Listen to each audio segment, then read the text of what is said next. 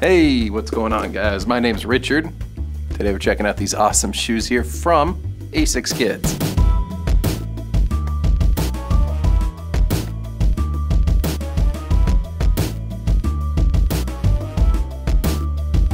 These awesome shoes here have really durable leather up with that lace-up closure in front to make sure your foot stays locked right on into place.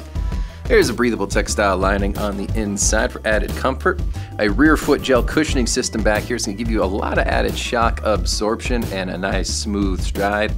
You got reinforcements here around the stitching in the toe cap to give you long lasting durability and a rubber outsole on the bottom that is very, very flexible.